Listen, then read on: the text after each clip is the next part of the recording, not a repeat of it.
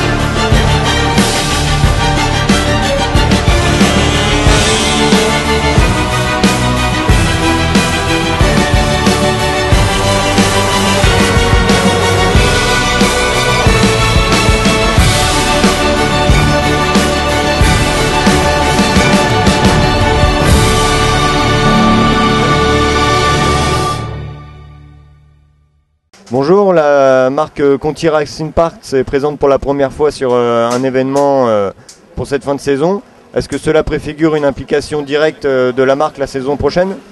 Oui, bonjour. Mais, donc nous, on, nous a demandé depuis pas de temps de venir donc, sur, ces courses, sur les runs. Donc bon, on a, réfléchi. On est venu cette année pour voir. Là, il y a beaucoup, beaucoup de monde. Ça me paraît intéressant. Et peut-être que l'année prochaine, on viendra en tant que concurrent. Voilà.